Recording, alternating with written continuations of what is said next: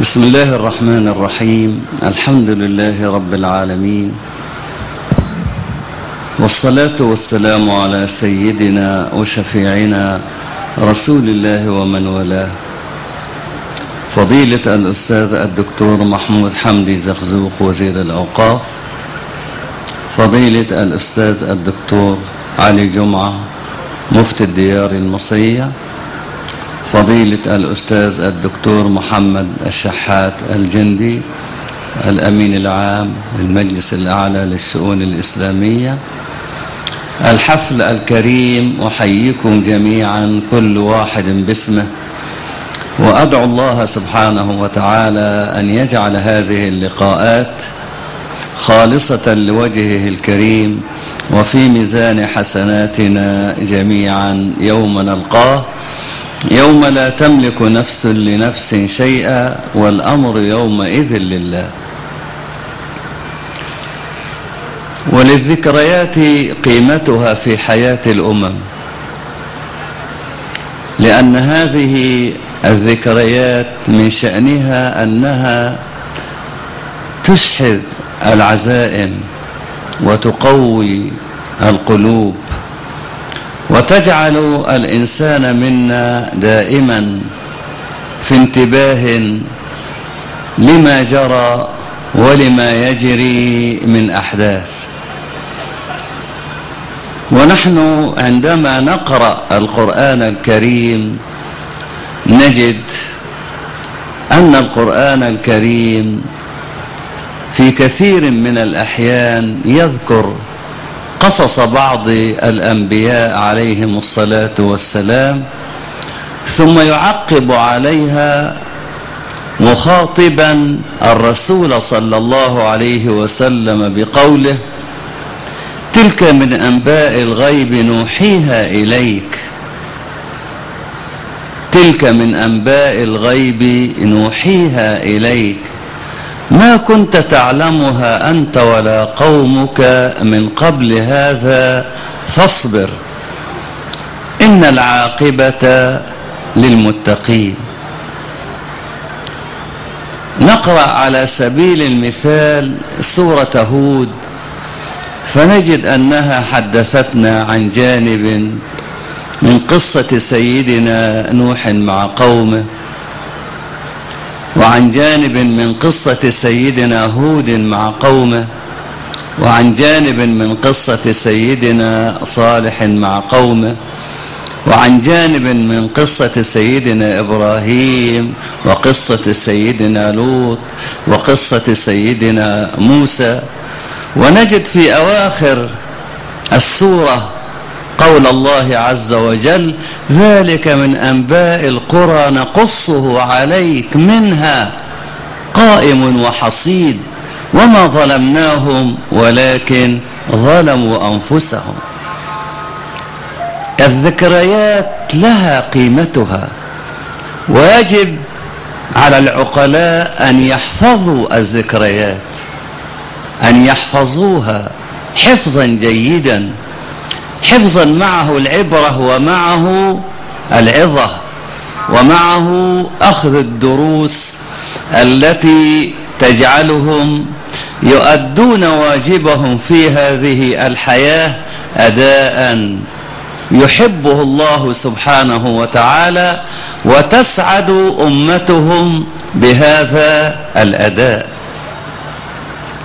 في مثل هذا اليوم منذ سبع وثلاثين سنة هجرية. نجد مصر وفي طليعتها أبناء القوات المسلحة. الكل هب لكي يدافع عن دينه ويدافع عن وطنه ويدافع عن كرامته. وكان الهتاف الأثير عند هؤلاء جميعا وهم يعبرون القناة. كان هتافهم الله أكبر. وكانت الروح المعنوية في أعلى وأسمى الدرجات. كان كل واحد منهم يعتبر أن هذه المعركة هي معركة حياة أو موت. وكان كل واحد منهم يهتف من أعقاء من أعماق نفسه. يهتف من أعقاء من أعماق نفسه وينادي بأنه يجاهد ويقاتل من أجل كرامته ومن أجل عزته ولكي ينتصر على أولئك الذين اعتدوا على حرماتنا واعتدوا على أرضنا وهنا كان نصر الله سبحانه وتعالى معهم. لما؟ لأن سنن الله سبحانه وتعالى لا تتغير ولا تتبدل. ومن هذه السنن أن من نصر الحق لا بد أن ينصره الله. إنا لننصر رسلنا. والذين آمنوا في الحياة الدنيا ويوم يقوم الأشهاد. ونجد هذه الآية الكريمة المصدرة بحروف التوكيد. إنا لننصر رسلنا عليهم الصلاة والسلام. وننصر معهم الذين آمنوا بهؤلاء الرسل. وليس النصر مقصورا على الدنيا فقط وإنما يشمل الدنيا ويشمل الآخرة.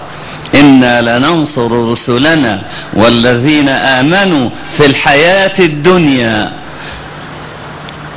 وليس في الحياة الدنيا وحدها ويوم يقوم الأشهاد.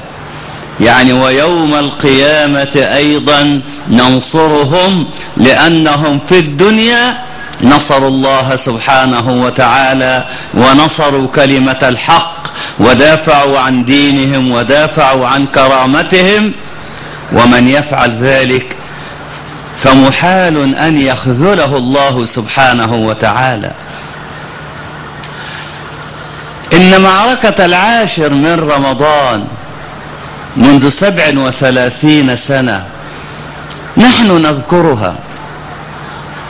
ولكن أبناءنا يجب عليهم أيضا أن يقرؤوها وأن يدرسوها وأن يعرفوها.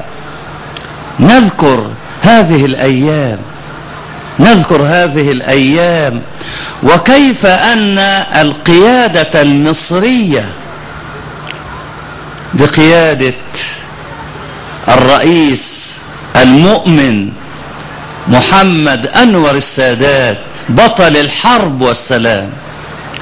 كيف أن هذا الرجل سهر الليالي ومن حوله أيضا أبناء القوات المسلحة والشعب. الكل سهر القوات الجوية القوات البرية القوات البحرية الشعب برجاله وبنسائه وبأطفاله كانوا يعيشون هذه الحياة وكانوا يقولون متى هذا اليوم؟ لأن الحياة مع الحرية لابد أن تتم بإذن الله عز وجل. فعندما باشروا الأسباب وسهروا الليالي وتحملوا ما تحملوا هل ضيع الله سبحانه وتعالى؟ هل ضيع الله عز وجل جهدهم؟ حاشا وكلا. حاشا وكلا أن يضيع الله سبحانه وتعالى أجر من أحسن عملا. كانت هناك الروح المعنوية وكان هناك الإعداد القوي في كل مجال من مجالات الحياة. الإعداد القوي في سلاح الطيران الإعداد القوي في سلاح البحرية الإعداد القوي في سلاح القوات البرية. الإعداد القوي بكل ما تحمله هذه الكلمة من معنى. وعندما يوجد الإعداد القوي الله سبحانه وتعالى هو القائل فمن يعمل مثقال ذرة خيرا يرى ومن يعمل مثقال ذرة شرا يرى كان الإعداد القوي وكان الصبر على الآلام وعلى المتاعب وعلى السهر. ولذلك كان مع كل هذا ما هو أهم وهو الروح المعنوية.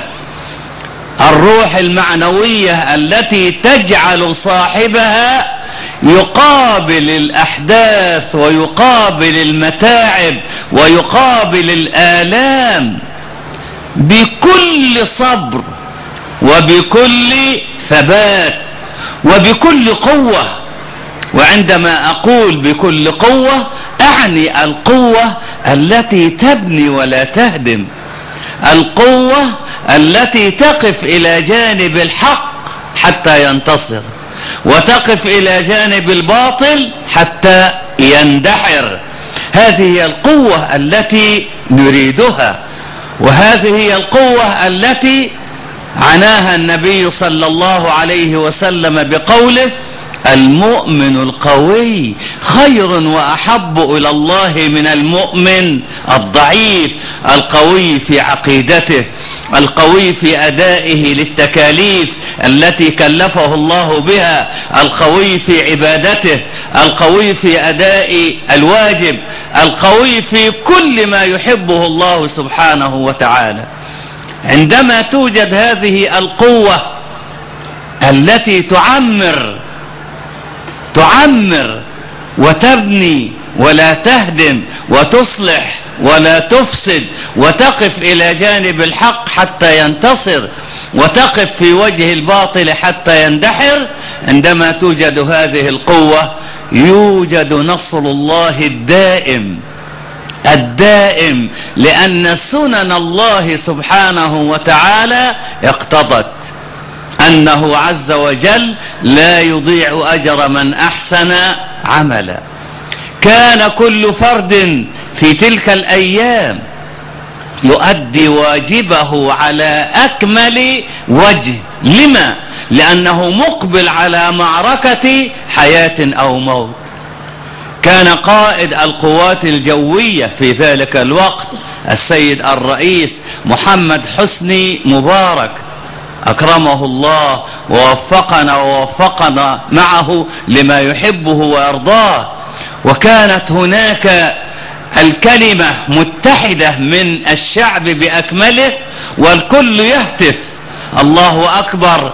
ويدعو الله سبحانه وتعالى صباح مساء أن يجعل النصر للمؤمنين. وقد أجاب الله سبحانه وتعالى دعاءنا. وبإذن الله بإذن الله بإذن الله عز وجل ندعو الله سبحانه وتعالى.